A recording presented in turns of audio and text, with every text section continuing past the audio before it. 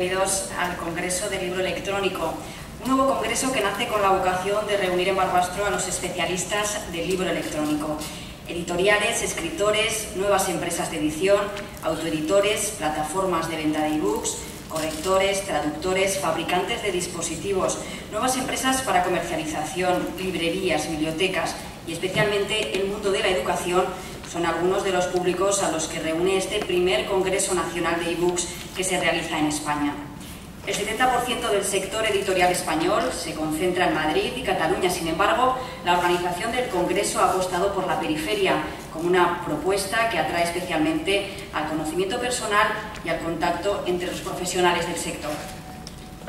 En el Congreso participan más de 150 congresistas, 40 ponentes y más de 40 periodistas, pero también miles de personas de España y América Latina que lo van a seguir por Internet a través de la retransmisión en directo. Todos muestran el interés que ha generado esta cita dedicada a los libros electrónicos, unas publicaciones que este año ya suponen el 26% del total de los libros que se publican en España. Hoy vamos a hablar de la transición de los profesionales del libro al nuevo ecosistema digital, del precio que deben tener los ebooks, del libro electrónico en la educación, de la alternativa de la autoedición para los autores, también de la mercadotecnia editorial en las redes sociales y de la nueva cadena de valor del sector editorial. Mañana, en la primera mesa, diseñadores de libros electrónicos van a debatir sobre la tecnología y los recursos que se precisan para la edición de libros electrónicos. A continuación, Amazon, Google y Tabus nos mostrarán los nuevos dispositivos de lectura y van a explicar las tendencias más innovadoras. En el programa tampoco podía faltar una tertulia de escritores y editores sobre el futuro del libro, uno de los temas que seguro se va a debatir también en los pasillos y en las pausas que se hagan a lo largo de este congreso.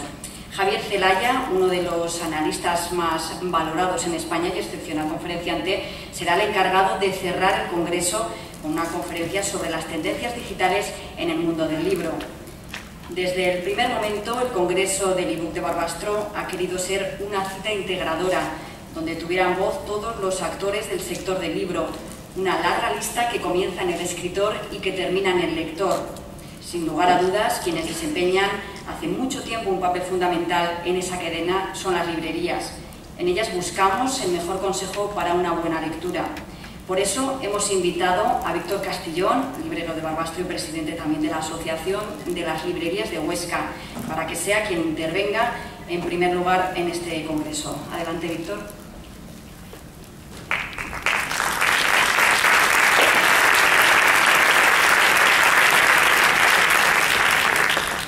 Bueno, gracias Ana, gracias a, todos los que habéis venido de fuera.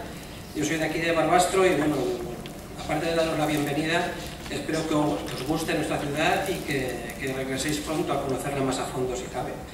Eh, gracias sobre todo a, los organizadores del evento, a, a, la Diputación Provincial de Huesca, a su presidente, al staff o al Departamento de Cultura de dicha Diputación por sentirse tan sensible con el mundo de la cultura y especialmente de la literatura, lo cual a la Asociación de Librerías de Huesca pues, eh, nos enorgullece.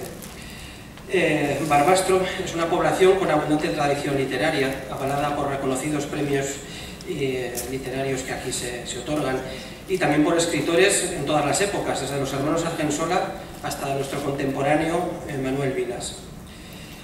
Eh, la Asociación de Librerías de, de Huesca, a la que represento, está integrada dentro de CEGAL, una confederación de, de gremios de, librerías y de asociaciones de librerías que engloba a unas 1.600 librerías de toda España. Desde allí llevamos años apostando por las nuevas tecnologías, con el fin de ofrecer información a través de bases de datos abiertas a nuestros clientes y sobre todo también de facilitar nuestro trabajo diario en la librería. Hoy por hoy, los libros en papel configuran el tanto por ciento principal de ventas de literatura, no nos hemos olvidado de olvidar de ello. Y sobre todo también no nos hemos de olvidar que los autores, eh, los que comienzan, ahora que comienzan muchos en digital, sueñan y espero que sigan soñando muchos años con ver su libro publicado en papel. Allí nos aferramos a este, a este hecho. En pocos días veremos cómo comienza a dar sus frutos nuestra alianza, la alianza de CEGAL, eh, con Tabus. A través de ella, las librerías asociadas a CEGAL eh, dispondremos de una plataforma para poder vender ebooks y la capacidad de poder eh, seguir recomendando libros a aquellos lectores digitales que visiten nuestros establecimientos. Las librerías tradicionales, muchas independientes, somos el canal preferido para la adquisición de libros por parte de los lectores españoles.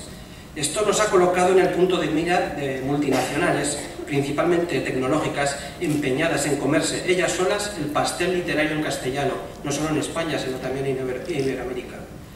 Algunas, algunas de ellas poco les importa la literatura, la calidad de los puestos de trabajo que ofrecen a, las personas, o el papel necesario del pequeño comercio en el tejido social que hace, que hace la ciudad, o que configura la ciudad, el barrio o el pueblo.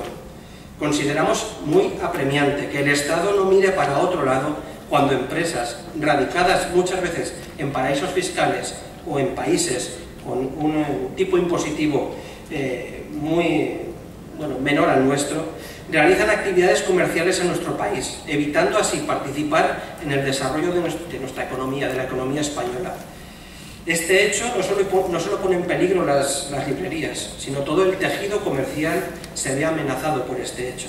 Los libreros de la provincia de Huesca nos sentimos orgullosos que nuestra tierra sirva de escenario para este congreso, este primer congreso del libro digital. Y damos las gracias porque nos hayáis dejado formar parte de él. Gracias.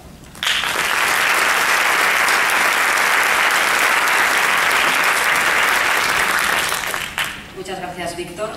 Como explicaban los escritores Antón Castro y el barbastrense Manuel Vilas en el último número del semanario El Cruzado Aragonés, ahora con la tecnología estamos leyendo y escribiendo todo el rato. El libro electrónico abre a los escritores la posibilidad de publicar y llegar a mercados de todo el mundo, especialmente para los autores más jóvenes, un nuevo panorama editorial que se encuentra inmerso en la transición.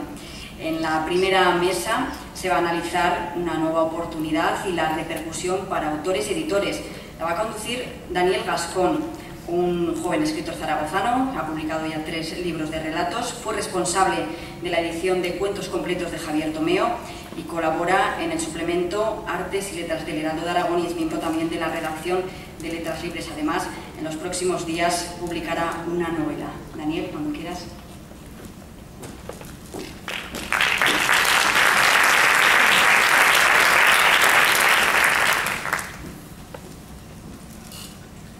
muy buenos días. Eh, para mí es un placer estar hoy aquí eh, en, el, primer Congreso Nacional del Libro Electrónico que se celebra en nuestro país, eh, porque es un asunto sobre el que, bueno, pienso mucho, pero tengo mucha curiosidad y muchas dudas, ¿no? que creo que por una parte es, es, algo tremendamente estimulante y también algo que nos da, que nos da un poco de, de miedo, de inquietud a veces. ¿no? también me hace muy feliz que este congreso se celebre en un lugar que, que, es, que como, como, se ha dicho, tiene una gran tradición literaria y también el lugar donde nació eh, Mariano Fistain, que yo creo que ha sido uno de los grandes pioneros de la literatura digital en nuestro país. Eh, muy pocas personas han sabido aprovechar las posibilidades de, que ofrecía Internet y desde tan pronto y con tanta brillantez y con tanto entusiasmo como Mariano Fistain, ¿no? que incorporó el mundo de Internet a su ficción ya eh, a comienzos de los años 90 o, mediados en su, en su, primer libro de relatos, que ha publicado libros en ediciones digitales, que tiene un blog de referencia y que también eh, en un momento en el que pues, eh, Internet parecía como un país que estaba en otro sitio, casi una cosa como de juego de rol, él metió a muchos escritores eh, en, ese, en ese mundo, ¿no? a muchos escritores aragoneses a los que les creó las páginas. ¿no? Ayer me pasé un buen rato hablando de, de la tecnología y de las esperanzas que tenemos con, con un amigo, ¿no? Eh, que es, un tema sobre el que incidimos mucho. ¿no? Eh, una de las cosas que siempre llama la atención es que las predicciones de ciencia ficción suelen equivocarse, ¿no? que estamos en el año 2013, todavía yo he venido en, en, pues, en tren y luego en un coche en vez, de, en vez de venir volando, que es como me habría gustado. ¿no? Hay, un, hay un sketch que me hace mucha gracia de Muchacha Nui donde se quejan, están eh, regreso al futuro y no ha cambiado nada, ¿no? Están todos ya viejos, Michael J. Fox y todos los personajes. Me dicen que el, que el futuro parece cine español.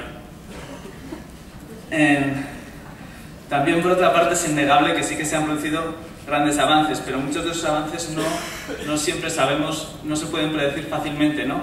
Y cosas que han sido como la gran esperanza del futuro otras veces no lo eran. Entonces tenemos ese amigo, ese padre o ese familiar que tiene una colección de grandes tecnologías que iban a cambiar el mundo y que se han desechado, ¿no? Entonces te dicen, no, no, el Laserdisc, eso sí que era lo bueno.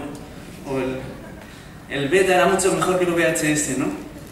Y bueno, pues no siempre, siempre, no siempre es tan fácil saber qué es lo que va a cambiar, ¿no? También hace, hace años recuerdo que, que Félix Romeo, que era un hombre que se pasó buena parte de su vida buscando en, en librerías y, y eh, rastreando en busca de autores muy poco conocidos, decía que le alegraba mucho la, la llegada de la, de edición digital porque podía acabar justo con eso a lo que él había dedicado tanto tiempo, ¿no? que era con el prestigio de lo oscuro, de, de lo raro. ¿no? Y entonces él pensaba que bueno, podía significar el sueño de una, de una gran librería, de la libertad de acceso y también donde los libros de los, de los pequeños fueran, fueran accesibles. ¿no? Eso bueno, pues, creo que podía tener parte de razón, creo que también puede tener otros, otros matices. ¿no? Eh, cuando hablaba del oscurantismo, también sabemos que no hay que dejarse llevar por, por los espejismos, pero que el rechazo a la tecnología puede tener consecuencias muy negativas. ¿no? Yo creo que el ejemplo más, más claro es el, el rechazo del Islam o de una parte de, de, del Islam a la imprenta, ¿no? que lo que era una religión o que posibilitaba una cultura floreciente eh, y rica y filosóficamente muy influyente también para Occidente, pues de repente se niega eso y se, y se estanca. ¿no? Entonces el, el, el, libro, el libro no es que esté contra la tecnología, el libro ha sido, es una tecnología ¿no? y además siempre ha estado en la, en la avanzada de muchas transformaciones. Yo creo que, como decía, que es, una, es algo que me produce una gran curiosidad y una gran incertidumbre. ¿no? Eh, creo que hay muchos elementos que son muy enriquecedores, pero también aspectos amenazantes como pues, la piratería, que a veces se defiende frívolamente en los ideales libertarios y que puede destruir un sector frágil. ¿no? Por eso yo creo que, son, que estas conversaciones son muy interesantes, ¿no? porque hay muchas cosas que, pues, que quiero escuchar a gente que sabe más y también quiero saber cuáles son pues, las preguntas que se hacen. ¿no? Y entonces me gustaría mucho, creo que es, que es una, una gran oportunidad de, de aprender. Muchas gracias.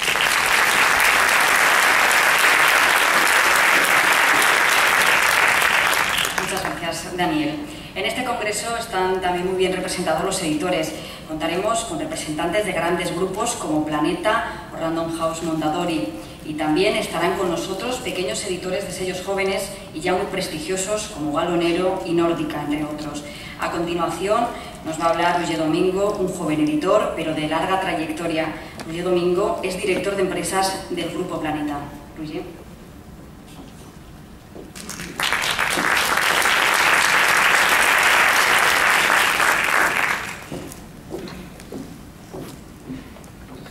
Muy buenos días a todos. Estoy convencido de que si en algún momento, dentro de unos años, alguien escribe una historia con las flechas clave de la evolución del mercado de libros electrónicos en España, la fecha de hoy, 24 de octubre de 2003, ocupará, junto con otras tales, como la puesta en marcha de 29, hace ya muchos años, eh, la novela de Pérez Reverte en PDF, que los más veteranos de luego recordarán, El nacimiento de Libranda, o la llegada de los gigantes americanos como Amazon, Apple y Google ocupará, decía, una posición preeminente. Y no lo digo porque mis expectativas sean generosamente altas, sino porque quien ha organizado este congreso se ha propuesto para el mismo, el mismo objetivo que propuso, se propuso hace ya 14 años cuando organizó la primera edición del Congreso de Periodismo Digital de Huesca. Tras 14 ediciones ininterrumpidas, puede decirse, sin miedo a equivocarse, que lo ha conseguido. Ha conseguido que aquel fuera el congreso de referencia en el sector. Estoy convencido de que con este también lo conseguirá. Estoy convencido, decía, que este también será el caso, pero no nos engañemos, en realidad depende de nosotros, depende de los ponentes y de los asistentes al congreso. Aprovechemos pues la ocasión que nos ha brindado la organización de estar hoy aquí reunidos hoy y mañana buena parte de la industria y hagamos que el esfuerzo para convertir este proyecto en una realidad haya merecido la pena. Y hagamos pues lo que se espera de nosotros. Compartamos, aprendamos y ayudémonos para acercar el libro electrónico al verdadero protagonista del Congreso, que, aunque hoy ausente, no es otro que el lector. Muchas gracias y disfruten.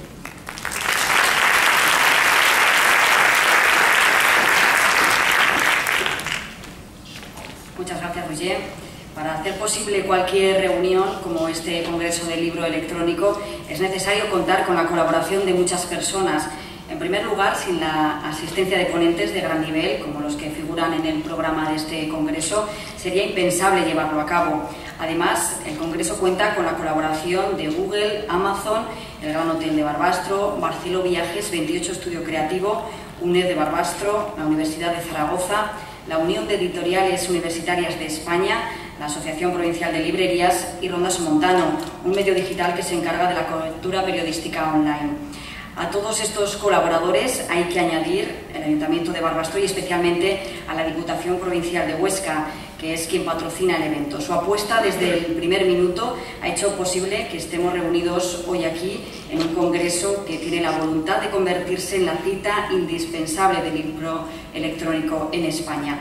Esa apuesta ha sido liderada en todo momento por Antonio Coscuyuela, alcalde de Barbastro y presidente de la Diputación Provincial de Huesca, quien es el encargado de inaugurar este congreso. Barbastro es una ciudad acogedora donde el turismo ya no está de paso y gracias a infraestructuras como estas es un lugar muy interesante para este tipo de eventos. Pero quien mejor lo va a contar es su alcalde y presidente de la Diputación de Huesca, Antonio Coscuyuela. Presidente.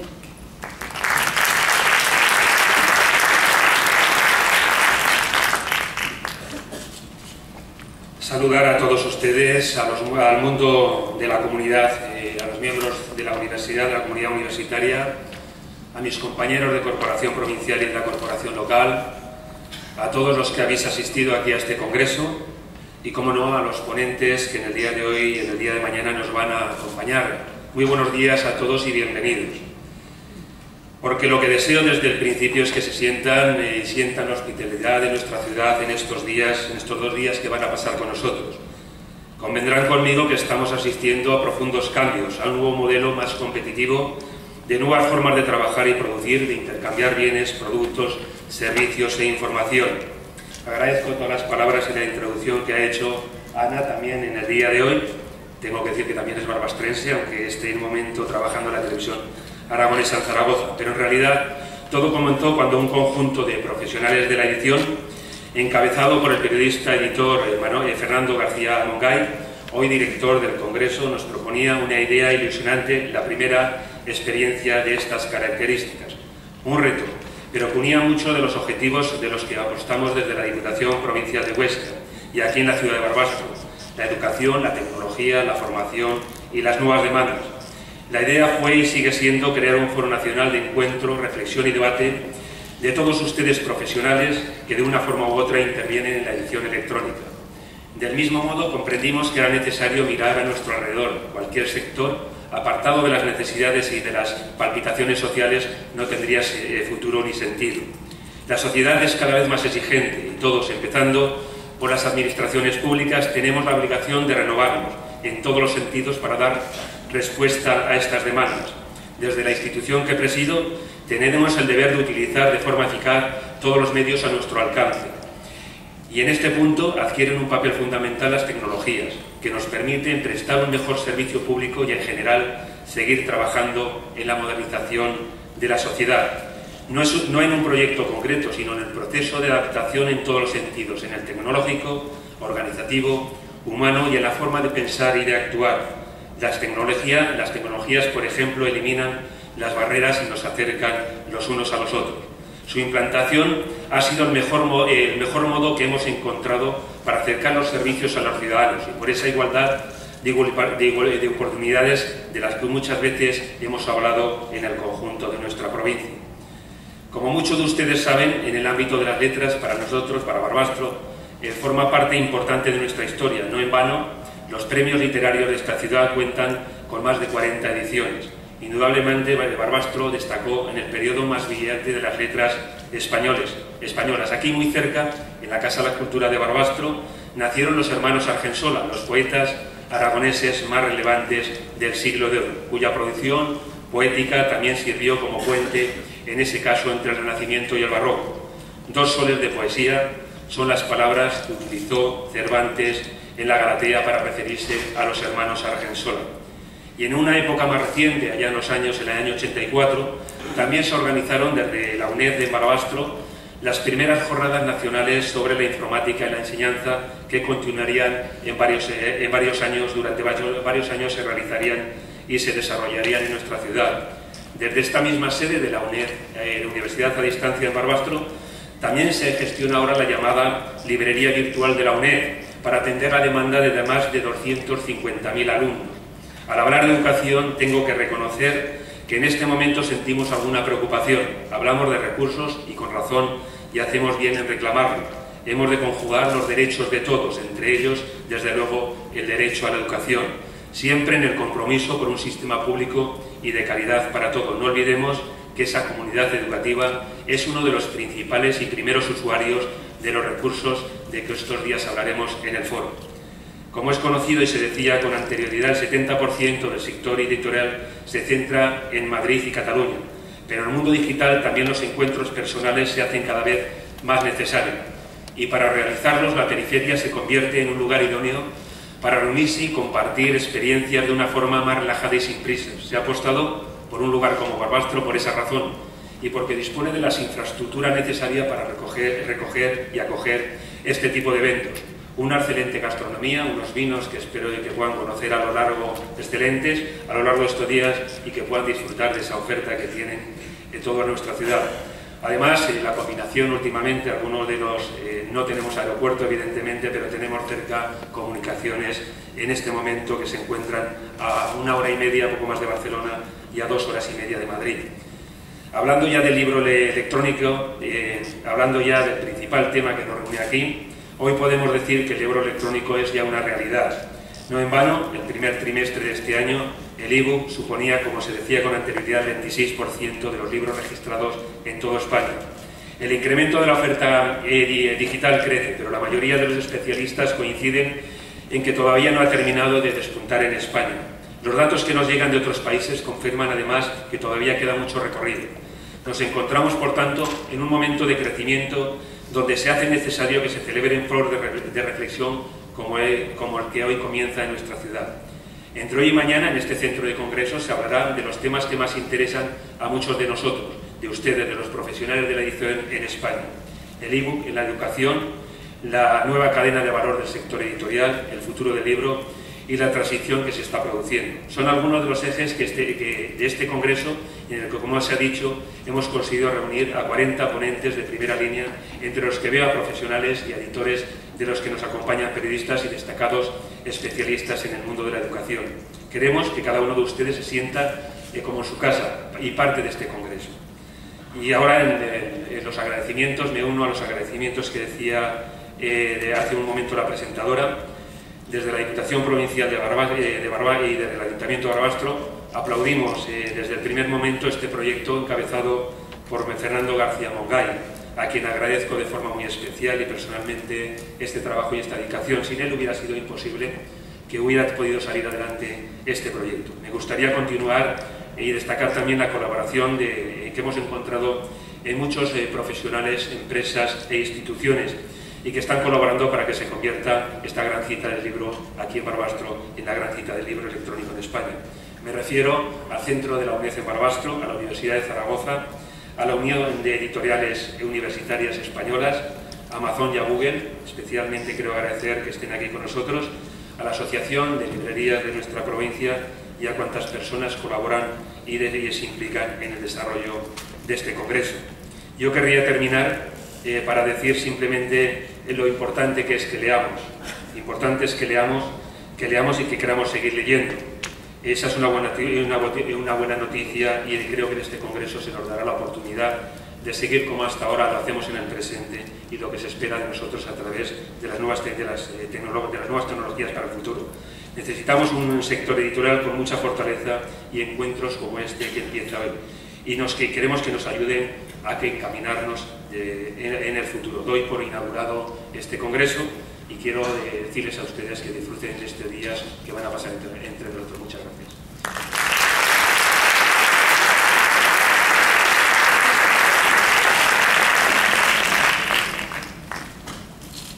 Pues una vez inaugurado el Congreso vamos a dar paso a la conferencia con la que comienza el intenso programa. Kindle es una división de Amazon, el gigante tecnológico estadounidense que no podía faltar a la cita española de la edición electrónica. El lector de Amazon, en sus diferentes versiones, ha sido el dispositivo de lectura más vendido durante seis años consecutivos y la empresa ha logrado reunir un catálogo de más de 75.000 títulos en español, en formato digital, y más de un millón y medio en otros idiomas. El encargado de impartir la charla de inauguración es Ezequiel Zafir, vicepresidente en, Europa de Kindle, cargo al que se incorporó en abril de 2013 proveniente del Grupo Español de Distribución de Moda Cortefiel, donde fue director general desde 2009. Posee una amplia trayectoria internacional, pasó por Deloitte, ha sido director de operaciones y planeamiento estratégico de Nike Europa, vicepresidente de inversiones para Liberty Media Europe y gerente de proyectos con la consultora McKinsey en Holanda. Ezequiel Zafir es también autor de una novela histórica a la que es posible que se refiera en esta intervención. Cuando quieras.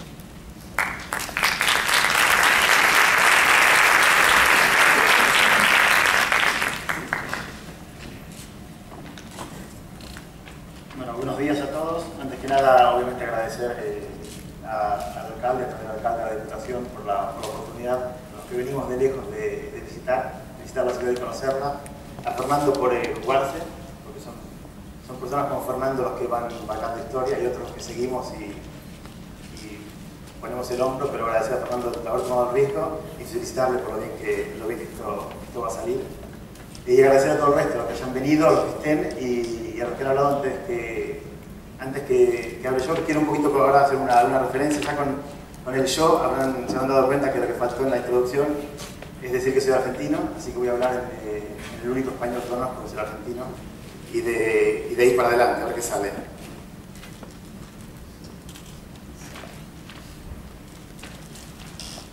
Alguien dijo alguna vez que Hispanoamérica es, eh, somos un mismo pueblo separados por un mismo idioma. Y, y un poco como de, de, pequeño me ha tocado leer y la primera ciudad española que he conocido ha sido Barcelona, por la, por la última página del libro donde decía editado en Barcelona.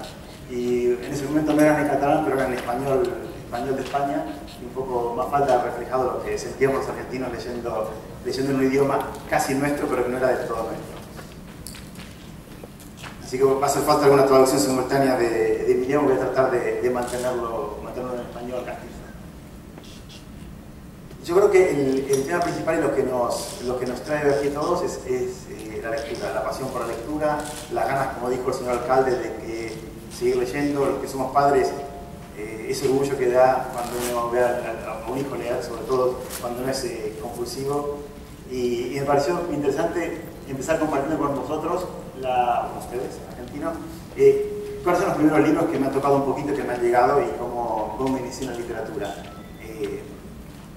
Creo que Mafalda tiene la suerte de ser conocida tanto en, Argentina como en España, entiendo también en Italia. Eh, y Mafalda no es cualquier personaje para los argentinos, es, una, es un pequeño personaje que ha, llevado la reflexión y, la crítica a la literatura a, los jóvenes. Creo que es para mí un poco un icono argentino más allá de otros que nos han hecho quedar en la historia mejor o peor. Eh, el Principito creo que es, eh, creo que es un libro para todos los que lo han leído, uno de esos libros que uno puede leer en diferentes momentos de la vida, una y otra vez, y cada vez que uno lo lee se encuentra otro significado. Probablemente sea el libro más releído de la historia. Y, Un saco de canicas fue el primer libro, eh, de literatura propiamente dicho, que, me ha tocado leer. El primer libro sin dibujitos y, sin, y con todas letras. Eh, y es un libro que es el primer libro que me ha hecho viajar, el primer libro que me ha hecho estar eh, en mi cama y leer y estar en otro país, estar caminando, me ha hecho sentir miedo, me ha hecho sentir angustia y, era lindo de cuando algo sale bien. ¿no? Y son libros que los llevo muy adentro. He, buscado la tapa del libro que me tocó leer a mí, que fue esa tapa, y dice Grijalvo, ya está creo que los derechos con otra, con otra editorial.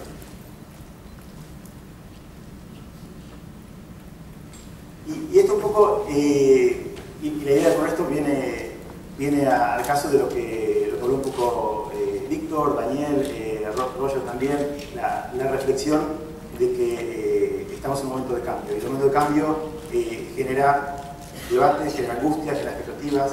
Eh, dos de las personas, Daniel y, Roger, hablaron del futuro y de, y de cómo se veía el futuro en el pasado, de que a veces leer ciencia ficción de los años 50, donde en el año 2000 todos hicimos en helicópteros personales de un lugar a otro, al final no pasó nada, aquí estamos con, con nuestros trenes, como ha dicho Roger. Y, y qué mejor de referencia también a, a, a pensar en el futuro que eh, un autor que pasó por aquí cuando escribió Homenaje a Cataluña, pero cuando escribió en 1984, auguró, en 1948 auguró que en el 84 el mundo iba a ser... Eh,